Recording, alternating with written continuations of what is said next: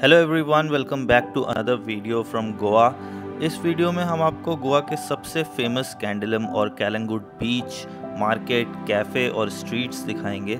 साथ ही साथ हम दिखाएँगे यहाँ का होम स्टे जहाँ पे हमने भी दो महीने का स्टे किया था और सारी डिटेल्स आपके साथ शेयर करेंगे। तो इस वीडियो को एंड तक ज़रूर देखिएगा। तो भाई, हमारी रोड ट्रिप टू इंडिया का पहला स्टॉप था पूरे 2000 किलोमीटर की ड्राइव के बाद। और हम बोले तो मैं, मेरी बीवी और हमेशा साथ रहने वाला चीका। नाइन टू फाइव ऑफ़िस से बोर होकर हमने डिसाइड किया कि हम वर्क फ्रॉम होम का कुछ फ़ायदा उठाते हैं और एक्सप्लोर करते हैं दी इनक्रेडिबल इंडिया तो सोना से ड्राइव करके हमारा पहला स्टॉप है गोवा।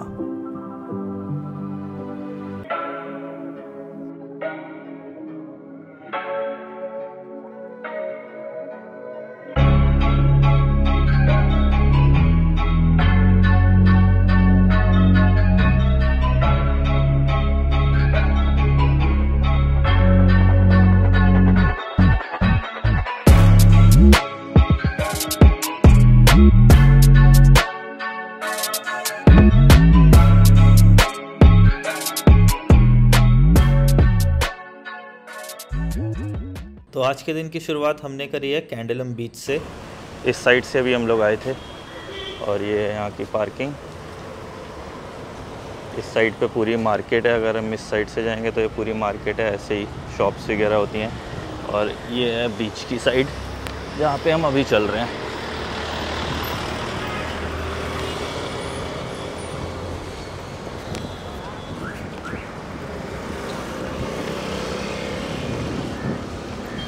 चलो जी।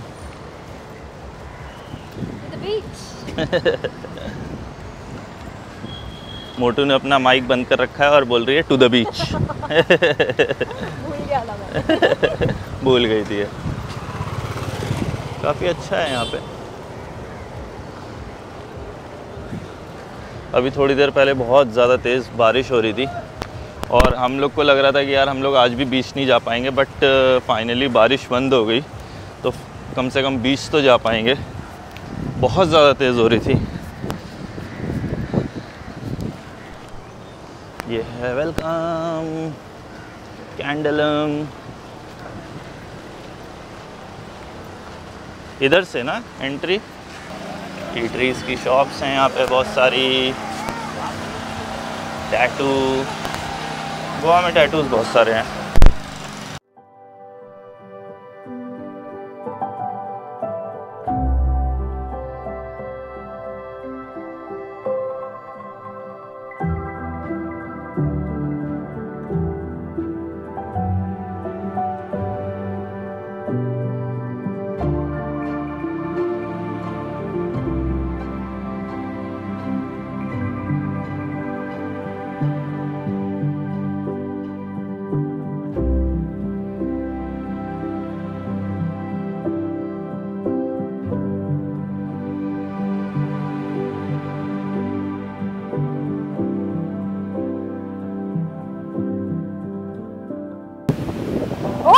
ये मेरा पीछा कर रहे हैं। बहुत ज़्यादा तेज़ हवा चल रही है यहाँ पे। ये कैंडलम बीच एक्चुअली बहुत अच्छा एरिया है। थोड़ा क्राउडेड है, बहुत आइसोलेटेड नहीं है बट इतना ज़्यादा क्राउड भी नहीं है बिकॉज़ हमने गोवा में ऐसे भी बीचेस देखे हैं, जिससे भी बहुत ज़्यादा क्राउडेड है। तो आप यहाँ एक अच्छा टाइम स्पेंड कर सकते हैं। आप पानी में भी जा सकते हैं। यहाँ पे चेंजिंग रूम है, जितना हमने यहाँ पे अभी बोर्ड्स पे पढ़ा है बट हम और पता करके आपको वीडियो के एंड तक कॉन्फर्मेशन भी दे देंगे। उसके अलावा यहाँ पे शैक्स वगैरह इस वक्त थोड़े से कम है बिकॉज़ हम आए हैं मानसून में, हमें मानसून बहुत ज़्यादा पसंद है। सुबह से रेन हो रही थी और वेदर इसी वजह से बहुत ही अमेजिंग हो रखा है। तो हम इस वक्त मानसून में आए हैं तो इसलिए शैक्स थोड़े से कम है बट यहाँ ऐसे बहुत से बीच साइड कैफ़ेज़ हैं जो कि परमानेंटली यहाँ पे होते हैं, जहाँ बहुत ही अमेजिंग फ़ूड और अमेजिंग व्यू भी होता है। तो हम चलते हैं और आपको एक ऐसा कैफ़े भी दिखाते हैं एक्सप्लोर करते हैं कि यहाँ एक अच्छी इवनिंग कहाँ स्पेंड करी जा सकती है। चलते हैं हम लोग। टमाटोज़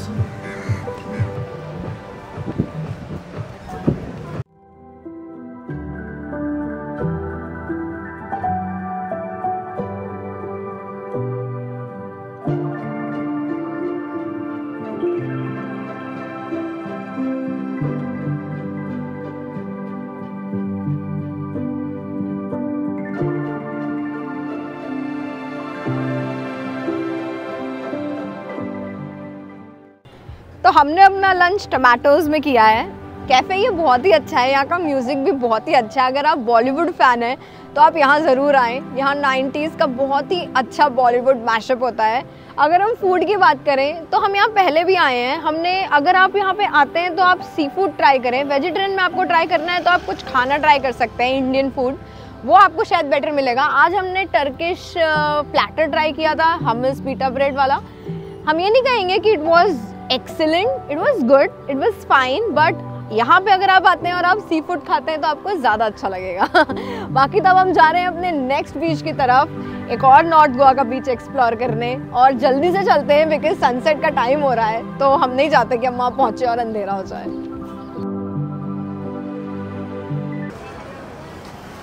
ये है कैलंगुट की पार्किंग और अब हम इधर की तरफ़ जा रहे हैं कैलंगुट बीच की तरफ़। मार्केट बहुत सारी है यहाँ पे।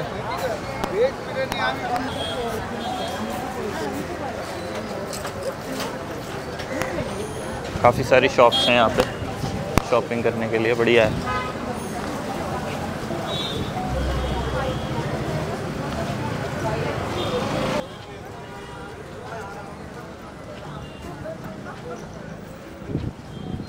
कपड़े, वपड़े बैग्स पता नहीं क्या क्या है। सब कुछ ही मिल रहा है यहाँ पे। बहुत सारी शॉप्स हैं कैलंगुड बीच के पास। बहुत सस्ता सस्ता मिलता है यहाँ पे टी शर्ट्स और ये सब।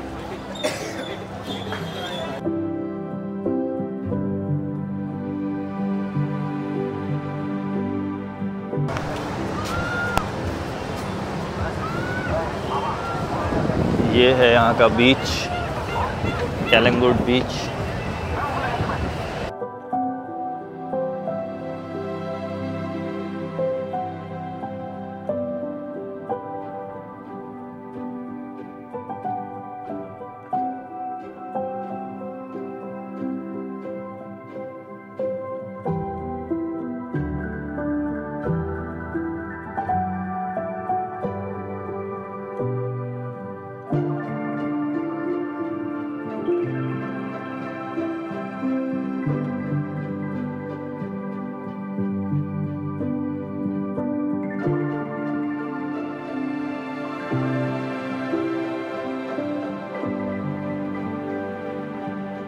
हम लोग अभी पानी में भी गए, हमने बहुत ज़्यादा इन्जॉय किया। आपको दिख रहा होगा कि मैं आधा भीग भी चुका हूँ क्योंकि काफ़ी ज़्यादा लहरें आ रही थी पास में।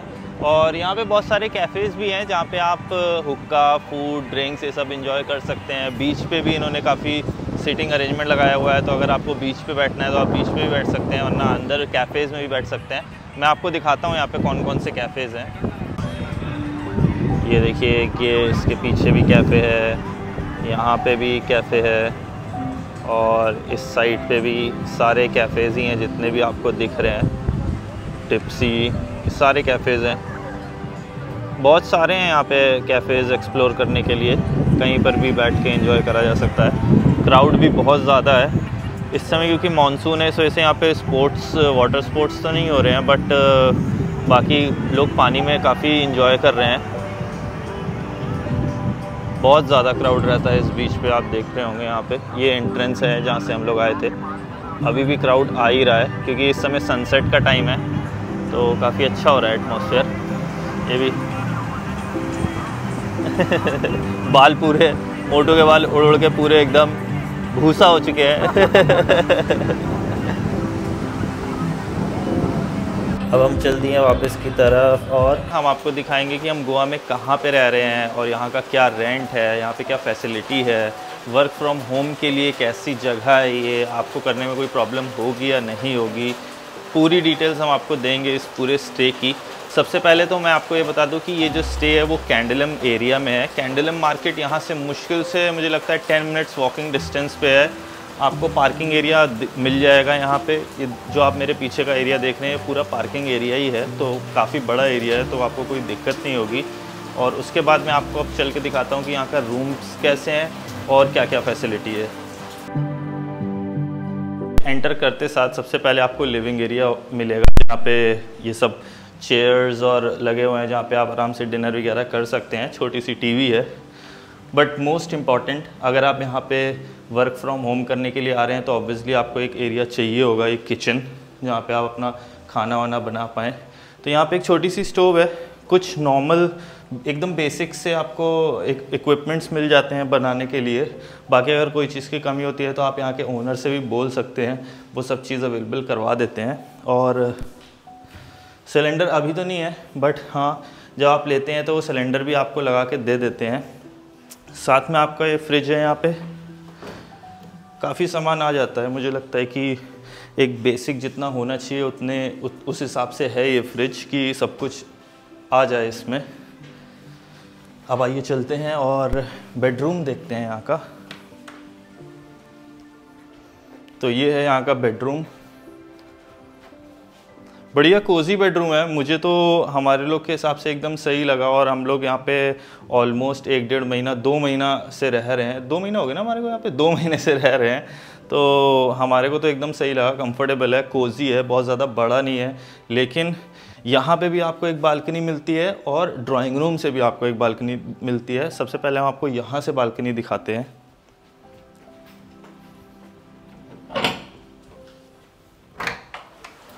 ये यहाँ की बालकनी, इस समय तो बहुत हम लोग इस समय एक्चुअली में मानसून में आए हैं यहाँ पे। गोवा में तो मानसून में घूमना एक अलग ही वाइब है, बहुत ही ज़्यादा ब्यूटीफुल होता है।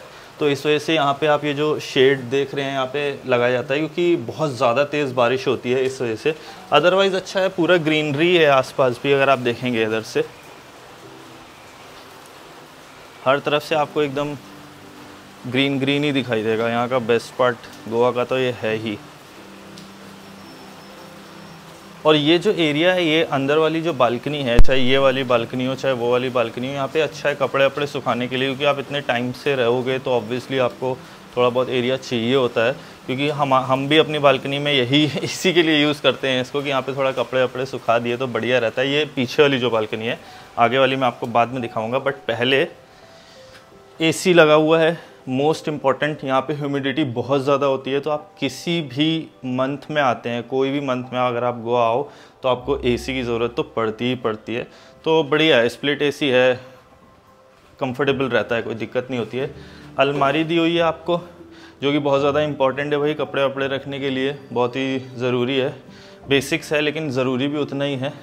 अब मैं आपको यहाँ का वॉशरूम दिखाता हूँ, क्योंकि वॉशरूम भी बहुत ही ज़्यादा ज़रूरी होता है। अगर आप कहीं पर भी इतना लॉन्ग टर्म में रहने के लिए आ रहे हैं या शॉर्ट टर्म में भी आ रही हैं तो एटलीस्ट वॉशरूम एकदम नीट एंड क्लीन होना चाहिए, बढ़िया होना चाहिए। तो वॉशरूम सही है अच्छा है।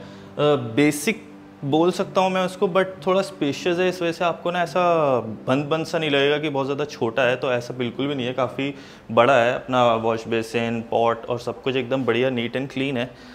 एक और मैं आपको यहाँ का बेस्ट पार्ट बताता हूँ कि यहाँ पे आप जितने भी टाइम के लिए रहने के लिए आएँ, यहाँ पे डेली मेड आती है। सुबह से ले, सुबह आठ बजे से लेके शाम को छः बजे तक यहाँ पे मेड होती है।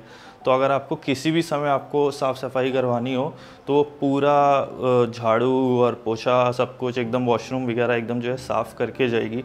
तो ये काफ़ी अच्छी चीज़ है क्योंकि ऑब्वियसली अगर आप वर्क फ्रॉम होम करने के लिए भी अगर यहाँ पे आ रहे हैं या वैसे भी आ रहे हैं चार पाँच दिन के लिए, हफ़्ते भर के लिए तो आपको ऐसा कुछ करने की ज़रूरत नहीं, आप अपना ज़्यादा से ज़्यादा टाइम इंजॉय कर सकते हैं। गोवा आए हैं भाई तो थोड़ा घूमना ज़्यादा ज़रूरी है। आइए, अब मैं आपको दिखाता हूँ। यहाँ का बहुत ही ज़्यादा अच्छा व्यू ये देखिए आप। भाई, ये चीज़ जो है ना, ये बहुत ही ज़्यादा इम्पोर्टेंट है। यहाँ का जो व्यू है, बहुत ही ज़्यादा अच्छा है, पूरा ग्रीनरी ग्रीनरी सुबह उठ के सबसे पहले आप बाहर आओ ना तो एकदम मज़ा आ जाती है। और थोड़ा सा मैं नीचे की तरफ़ अगर आपको दिखाऊँ तो यहाँ पे काफ़ी अच्छा है, काफ़ी अच्छा है जगह अभी तो बारिश हो रही है, इस वजह से पूरा जो है एरिया भीगा भीगा सा लग रहा है। बट यहाँ पे जो है, ये ऐसा है कि आप अगर थोड़ा सा सुबह सुबह एक्सरसाइज वगैरह करना चाहते हो, बढ़िया खुली ताज़ी हवा में तो उसके लिए भी काफ़ी काफ़ी अच्छी स्पेस है। आसपास मकान भी बहुत ज़्यादा क्यूट हैं, आप अगर इस तरफ़ देखें तो सब कुछ काफ़ी सुंदर है। ये ट्रीज़ काफ़ी अच्छे लगते हैं मुझे हमेशा ही। तो काफ़ी अच्छा है।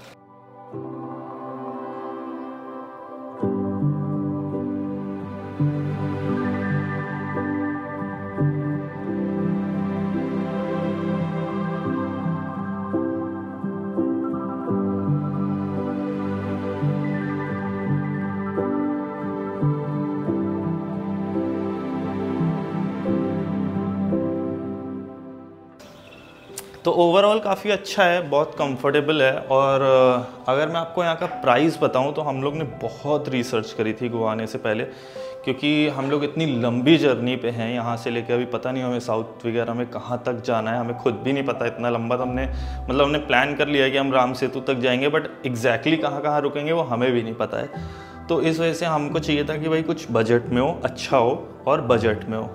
तो यहाँ का जो प्राइस है, वो है twenty five thousand rupees per month which I think is reasonable क्योंकि अगर बाकी से कंपेयर में आपको करूँ, यहाँ पे जितने भी थे एयर बी एन बीज वगैरह भी अगर आप चेक करोगे तो आपको बहुत एक्सपेंसिव मिलेंगे मतलब above forty thirty five above forty above तो भरे पड़े हैं सारे।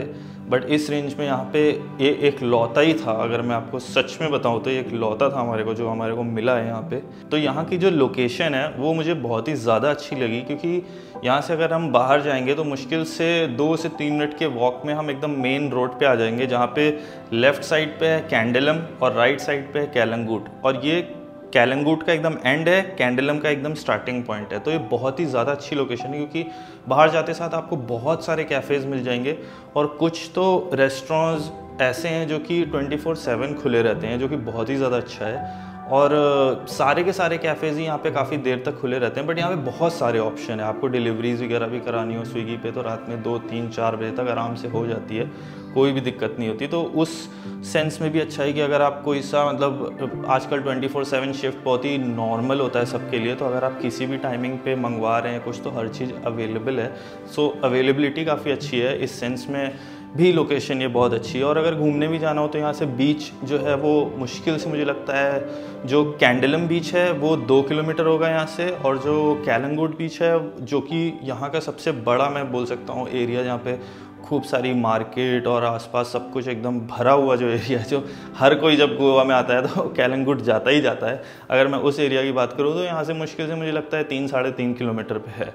तो अगर आप लॉन्ग टर्म में भी रहना चाह रहे हैं तो ज़रूरी नहीं है कि आप पूरे टाइम के लिए ही स्कूटी बुक करें और उसके बाद ना डेली का उसका खर्चा आप बेयर करें, उसकी ज़रूरत नहीं है मुझे लगता है, क्योंकि आप काफ़ी दिनों में तो आप पैदल ही घूमने जा सकते हो, क्योंकि एकदम मेन मार्केट में ही बोल सकते हो आप कि ये है।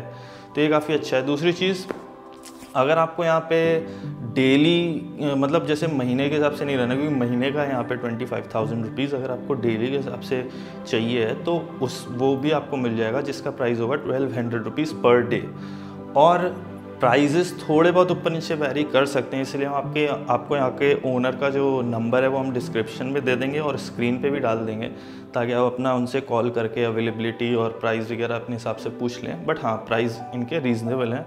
सब कुछ काफ़ी अच्छा है। एक बहुत ही इंपॉर्टेंट चीज़ की बात कर लेते हैं अब जो कि है वाईफाई तो क्योंकि वर्क फ्रॉम होम के लिए अगर आप यहाँ पे आ रहे हैं और आपको वाईफाई बहुत ही ज़्यादा इंपॉर्टेंट होता है कि कनेक्टिविटी सही हो तो पहले तो मैं आपको ये बता दूँ कि गोवा में फ़ोन्स की कनेक्टिविटी बिल्कुल डेड है। ठीक है? इसमें कुछ भी मैं शुगर कोट नहीं करूँगा। यहाँ पे फ़ोन्स अगर आप लेकर आ रहे हैं तो कोई सा भी नेटवर्क हो, कोई सा भी जियो एयरटेल वोडाफोन कोई सा भी हो, कोई भी नेटवर्क नहीं चलता है यहाँ पे। तो जो भी है वो वाईफाई है, जिस पे आप रिलाई कर सकते हो। इवन एक कैफ़े में भी आप जाओगे तो वहाँ का वाईफाई ही लेना पड़ेगा आपको, अगर आप सोशल मीडिया में कुछ डालना चाहते हैं या एक्स वाई जी कुछ भी करना चाहते हैं। तो फ़ोन का तो यहाँ पे सीन ख़त्म है तो वाईफाई इसीलिए बहुत ज़्यादा इंपॉर्टेंट होता है और यहाँ पे वाईफाई है ट्वेंटी फोर सेवन कभी कभार छोटे मोटे ग्लिचेस होते रहते हैं बट ओवरऑल हमने यहाँ पे वर्क फ्रॉम होम किया, हमारे को ऐसा कोई प्रॉब्लम नहीं हुई। तो मुझे ऐसा लगता है कि वर्क फ्रॉम होम के लिए वाईफाई की कनेक्टिविटी एकदम परफेक्ट है, कोई दिक्कत नहीं है। अप टू 50 एम की स्पीड यहाँ पे आती है तो एज सच कोई दिक्कत वाली बात नहीं है। आराम से आप अपना वर्क फ्रॉम होम भी कर सकते हैं और अपना घूम भी सकते हैं। और एक बहुत ही ज़्यादा इंपॉर्टेंट चीज़ अगर आप वर्क फ्रॉम होम कर रहे हैं तो वो होती है पावर बैकअप तो यहाँ पे आपको पावर बैकअप भी है इन्वर्टर लगा हुआ है तो आपको ऐसा सच कोई दिक्कत नहीं होगी उस पर्सपेक्टिव से भी कि भाई काम कर रहे हैं तो ऑब्वियसली पावर बैकअप तो बहुत ज़्यादा इंपॉर्टेंट होता है। तो पावर बैकअप भी है, यहाँ पे कोई दिक्कत वाली बात नहीं है। इसके अलावा अगर आपके कोई भी क्वेश्चन हो या आपको कोई भी डाउट हो, अगर आपके दिमाग में कुछ भी आ रहा है कि आप कन्फ्यूज़ हो, कुछ भी है तो आप हमारे को कॉमेंट कर सकते हैं और हम आपको बिल्कुल हेल्प करेंगे। इसके अलावा आप हमारे को इंस्टाग्राम पे भी डीएम कर सकते हैं और हम आपको वहाँ पे भी मैसेज करके सब कुछ बता देंगे। और इसके बाद हम जा रहे हैं एक नए डेस्टिनेशन पे तो हमारे चैनल को ज़रूर से ज़रूर लाइक शेयर और सब्सक्राइब कर लीजिए, क्योंकि हम आपको ऐसे ही इन्फॉर्मेटिव वीडियोज़ आगे देते रहेंगे। और हमारी जर्नी देखिएगा, आप, आपको बहुत ज़्यादा मज़ा आएगी क्योंकि हमको भी नहीं पता कि हम कहाँ जा रहे हैं, लेकिन हम बस जा रहे हैं। तो अगर ये वीडियो अच्छी लगी हो तो प्लीज़ लाइक ज़रूर करिएगा इस वीडियो को और कमेंट डाउन ज़रूर बताइएगा कि कैसी लगी या हम क्या प्रोग्रेस कर सकते हैं अपनी वीडियोस के लिए। आपके अगर, आपके पास अगर कोई सजेशंस हैं तो वील अप्रिशिएट इट और ज़रूर से ज़रूर सब्सक्राइब करिएगा नोटिफिकेशन बेल भी प्रेस करिएगा ताकि आपको हमेशा हमारे चैनल की नोटिफिकेशंस आती रहें। और मिलते हैं हम आपसे अपनी अगली वीडियो में। Bye bye.